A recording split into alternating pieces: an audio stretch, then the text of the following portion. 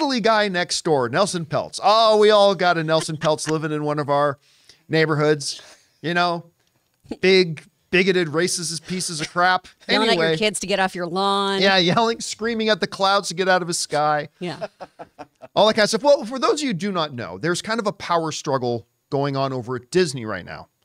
Nelson Peltz and his main guy supporting him, Ike Perlmutter, the guy who used to be Kevin Feige's boss until Kevin Feige threatened to leave Disney unless they got rid of him.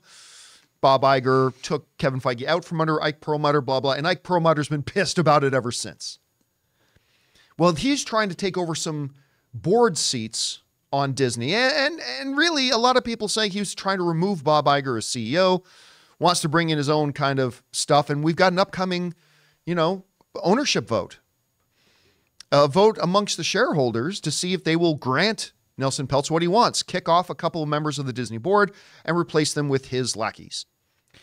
And, you know, we've talked about that a, a little bit here and there. And, and listen, uh, not to take anything away from Nelson Peltz has had an incredibly successful run as a financial investor. He has. There- I'm not going to take that away from him. The dude, when it comes to money, he knows how to make money. He does. that being said, in a recent comments being made by Nelson Peltz, um, he, he kind of did some really stupid things. He said some really, really dumb things. Uh, one of the things he said was when you know they put to him like Disney's been mentioning, you don't really know anything about the movie mis- making business. He says, "Well, maybe I don't know how to make movies. Well, I don't think they know how to make movies either." Oh, got him. I'm convinced. Zing! Roast his ass. All those billion dollar films. Talk about Yeah. receipts. Man, I'm sold. Receipts. Timeline. He No did. idea. No idea. And as far as Kevin Feige, Feige Schmeige, that putz doesn't know what he's doing. Listen, just to quote a little bit of what Nelson Peltz just recently said. This comes to us from the folks over at uh, CBR. When pressed if that means that Kevin Feige should be fired, Peltz added, I'm not ready to say that. Notice he didn't say no. I'm not ready to say that.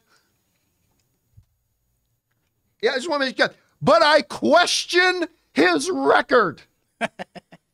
I question Kevin Feige's record. That dude whose movies have made $30 billion.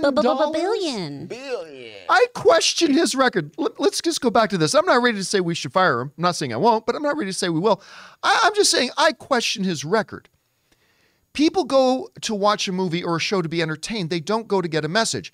I just want to know if if Nelson Peltz knows that almost every movie, almost every relevant movie in history has a message. The Godfather has a message. Al Pacino talks about it all the time. Citizen Kane has a message. Movies are art. Artists have things to say. It's just whether or not they're the things you want to hear. But anyway, I, I just want to go from there. They don't go to get a message. This is where his real sharp intellect comes out. Why do I have to have a Marvel? I'm not really sure what a Marvel is, but I don't need. I uh, yeah, I'm confused about that one too. Is he the mom in Arrested Development? Is he giving people money saying go s- buy a Star War?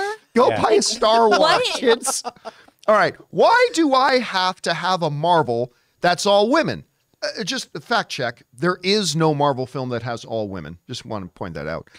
Uh, not that I have anything against women. You know, you're talking to a chauvinist asshole when they have to preface what they're saying. Not that there's anything wrong with that. It always makes me feel safer. Not that I have anything against I women. feel good then. Like, yeah, Anyway. you probably don't. Not that I have anything against women, but why do I have to do that? Why do I have to watch a movie with women? Guess what, dipshit? You don't. You don't. Just shut up. Why can't I have Marvels that are both okay? 33 Marvel films, three of them have female leads. 33 Marvel films. Why can't I have both? Anyway, That's three too many. that's three too many, baby. and then he says, and why do I need an all black cast? I know, oh, man. Where where is that one? I, I I don't know because last time I checked, Bilbo saved her life by throwing himself in front of a bullet, and then at the end of the film, saved the world by taking down the bad guy black characters who are gonna go and conquer the world. So I'm not quite sure what movie had an all black cast. But l- l- let's. I want to. I want to sit here for a second and dissect this a little bit. I want to go into this brainchild nutfucker here uh, ab- about some of the things that this moron has said. Um, first of all, I, I know we already mentioned it, but I got to go back to this thing. I question Kevin Feige's record. I question Kevin Feige's record. Listen, if you are one of the Disney shareholders, this should be the end of the discussion for you. Any Disney shareholder that votes this guy's way is a moron. We have a producer who has created the most successful film franchise in the history of Hollywood, averaging nearly $1 billion per film with a $30 billion deposits against 33 movies that he's made. Nothing in Hollywood history has ever come close to that record of success. Ever. And this nipple pimple is saying, I question this guy's record. I don't I don't know if this Kevin Feige guy knows what he's talking about. I, I don't I don't think I don't think he understands the movies. Yeah, it's classic gaslighting. Yeah. I, I mean, and and listen, I just for the record, okay? If Nelson Peltz, who I'm sure is watching this show, were to say to me, okay, Campea, but what has Kevin Feige done for us lately? Because listen, nobody. Actually, I get complaints from people saying, John, why are you being so me- negative on Marvel lately? But listen, uh, nobody talks more about how this is not this right now. We are not in Marvel's finest stretch. We talk about it all the time and they got to get things turned around. We've talked about some things that may be behind that. But in case Peltz wants to come and say, yeah, well, that's fine, that's fine. Uh, all those billion dollar films and all the records and all the whatever. But what has Kevin Feige done lately? All right. Okay. Let's let's look at lately. Let's just go back a couple of years. Let's just take a second, take opinions out of it, and look at these little pesky things called facts. Ugh, that's too hard to do. It's yeah, like, that's no fun. Critical Looking at thinking. facts isn't fun. Let's just look at the last couple of years. And as critical as I have been of Marvel's performance the last couple of years, you still have to give credit where it's due. And let's take a look at some facts. And let's let's do so we can put it in context, just for the sake of context. Let's hold it up against their nearest competitor, DC. All right, just, just for some comparison, just so we can have context, all right? If we go back starting at the beginning of 2022, Marvel has put out six films Doctor Strange 2, Black Panther 2, Guardians 3, Thor 4, Ant Man 3, and The Marvels. Six films. Now, by contrast and comparison, DC has put out five films since the beginning of 2021 Aquaman 2, Blue Beetle, The Flash, Shazam 2, and Black Adam. Now, Wait, did you say Black Adam? yeah, yeah, Peltz. Because Peltz just may have a problem with that. Wait, why do I gotta have that? So Black Adam, okay. So uh, Marvel had six, DC had five. All right, how did they perform? And and again, we're we're not trying to put this up, say, look how bad DC is. No, no, just for just for context. We're just holding them both up for context. So how did they perform? All right. Well, since 2022 began, here's what DC Films results have been. Aquaman Fire. 2 made $434 million. Blue Beetle made 120. These are worldwide numbers, by the way. Blue Beetle made 128 million. The Flash made 266 million. Shazam 2 made 132 million. And Black Adam, sorry, Peltz, made 390 million dollars. Now that's a grand total of 1.35 billion. But if just just to compare apples and apples, that means on average, the films that DC has put out since the beginning of 2022 have averaged 270 million dollars per film. Okay? Now, we just set that up as a plateau. Just say here's here's what we're going to compare against. Here's our context. What has Marvel done since the beginning of 2022? Well, their films have had the following results. Doctor Strange 2 made 952 million. Black Panther 2 made 853 million. Guardians 3 made 845 million. Thor 4 made 760 million. Ant-Man 3 ugh, made 463 million dollars and the Marvel and the Marvels I should say made 200 million dollars.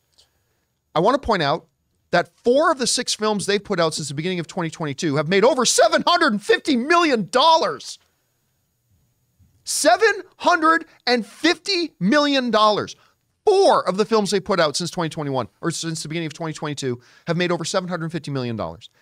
In total, since the beginning of 2022, Marvel's films have made $4.07 billion and have had an average of $678 million per film. Well, you know, I think I, I'm seeing a pattern here. If we're looking at these numbers, Ant Man three had two women in it. The Marvels had three. Now that's now, now see? follow me, follow me. That's Slippery fi- slope. That's five women. I don't like this version Well, of girl now math. math is math. At a cost of $100 million per female, you reach 200 million from Thor's for 760. So that's the problem. Obviously, Oh, you've not take into, account all the women that are in Black Panther too. well, no, well. this is convenient math. But convenient again, math. for context, DC Films, the other major comic book movie production outfit since tw- the beginning of 2022, $270 million per film. Marvel, in their weakest state that they've ever been in, you may or may not agree with me when I say that, but it's it's what I think when I look at the uh, when I go in the weakest state that Marvel's ever been in, and in the weakest stretch that Marvel has ever had. Whereas their main competitors average $270 million per film, Marvel films in this weak state and in this weak stretch are averaging $678 million per film, with four of those films being over 750 million. And by the way, in case Nelson's interested, let's talk about these women movies. Out of 33 films, Marvel has had three female led films. All right? They had Black Widow, Captain Marvel, and The Marvels, making 379 million, 1.13 billion, and 200 million dollars.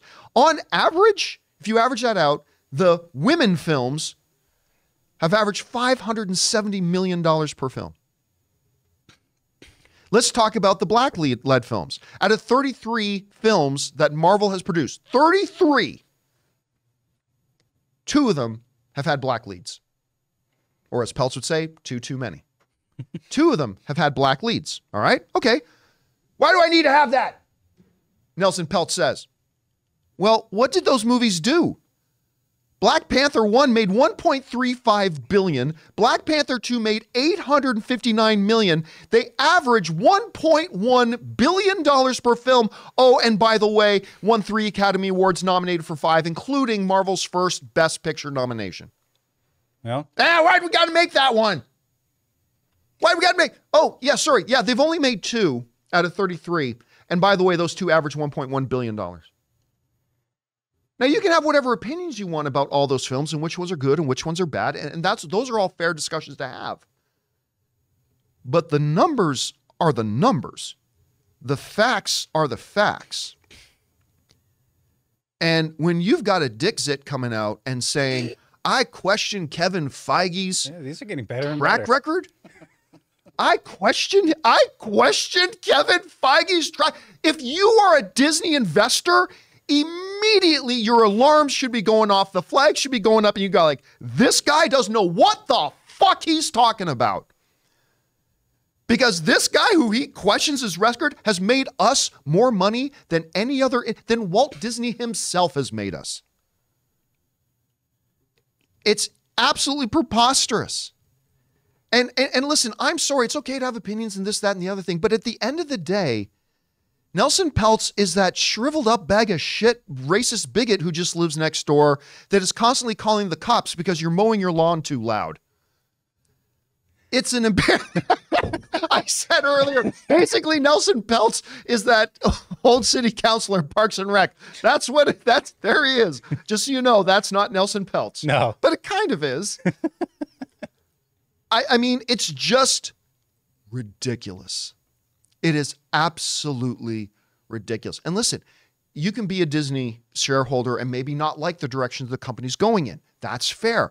You can be a Disney shareholder and think, hey, listen, I kind of question our leadership right now. That's fair as well. That's all totally fair. But if your other option is this guy who says, I don't think they know how to make movies, I question Kevin Feige's record. I apparently don't know numbers. It's uh it's kind of a joke. Anyway, guys, we want to take a second to thank a sponsor of today's video, Miracle Made. Did you know that your temperature at night can have one of the greatest impacts on your sleep quality? If you wake up too hot or too cold, I highly recommend you check out Miracle Made's bed sheets. Inspired by NASA, Miracle Made uses silver infused fabrics and makes temperature regulating bedding so that you can sleep at the perfect temperature all night long. When they arrived at our house, my wife Ann loved to feel them so much, she couldn't even wait for me to get home to put them on our bed. Miracle Made has self cleaning. These sheets are infused with silver that prevents up to 99.7 of bacterial growth, leaving them to stay cleaner and fresh three times longer than other sheets. Miracle Sheets also have incredible comfort and quality. Miracle Sheets are luxuriously comfortable without the high price tag of other luxury brands and feel as nice, if not nicer, than sheets used by some five star hotels. So go to Try Miracle, that's T R Y M I R A C L E dot com slash Campea to try Miracle Made sheets today. And whether you're buying them for yourself or as a gift for a loved one, if you order today, you can save over 40%. And if you use our promo code Campea at checkout, you'll get three free towels and save an extra 20%. Miracle is so confident in their product, it's backed with a 30 day money back guarantee. So if you aren't 100% satisfied, you will get a full refund. So upgrade your sleep with Miracle Made. Go to trymiracle.com slash Campea and use the code Campea to claim your free three piece towel set and save over 40% off. Again, that's trymiracle.com slash Campea to treat yourself. Uh, Chris, uh, you've sat very patiently as I've gone on my thing here. Uh, what what do you think about uh, Nelson Peltz's comments? I mean, he seems really reasonable to me. He seems I really reasonable. No, wouldn't it be wild if that's what I came out the gate with? Of like, no, he's right. He's He makes a good point. he brings up some excellent points here. It- it's giving a lot of I can't hate women. I have a mother, or Mom, how can I hate or women? somebody who brings up that they have a black friend when they talk about like, but also voting is weird, isn't it? Like, I don't love where a lot of these things are coming from, and neither does Disney. The uh, actual Disney folks have clapped back pretty hard. They released a statement talking about how his ideas are the things that are going to keep things from happening, right? Mm. This could be the worst thing because he's also suggesting that they have this whole board reviewed way of approaching media now. Yeah. So yeah. that he wants to put 40 to more cooks in the kitchen for the creatives. Exactly. Yeah. And Disney came out and said the thing that's going to impede us the most is having an 81 year old hedge fund manager with no creative experience telling us what we can creatively do. yeah.